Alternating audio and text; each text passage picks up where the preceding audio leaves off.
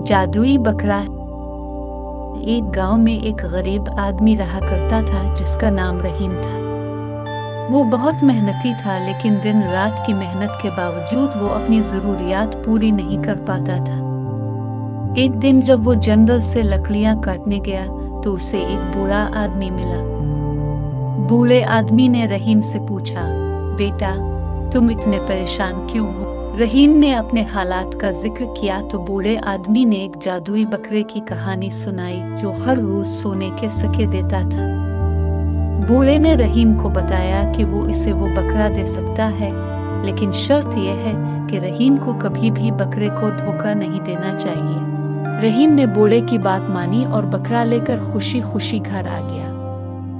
हर रोज बकरा सोने के सके देता और रहीम की ज़िंदगी बेहतर होती चली गई।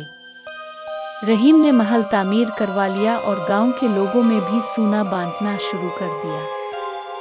लेकिन जैसे जैसे वक्त गुजरता गया, रहीम ज़्यादा लालची होने लगा। एक दिन इसने सोचा कि अगर वो एक ही दिन में ज़्यादा सूना हासिल कर ले तो इसे हमेशा के लिए कोई काम करने की ज़रूरत नहीं होगी। इसने बकरे को धोखा देने की कोशिश की और इसे ज़्यादा खाना दिया ताकि वो एक दिन में ज़्यादा सोने के सके दे सके।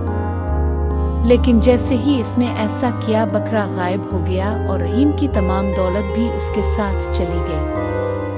रहीम दोबारा गरीब हो गया और इसे ये समझ आ गया कि लालच का अंजाम हमेशा बुरा होता है। इस कहानी का इखलाकी सबक ये है कि लालच इंसान को बर्बाद कर देता है और जो कुछ हमें मिलता है, इस पर कनात करनी चाहिए।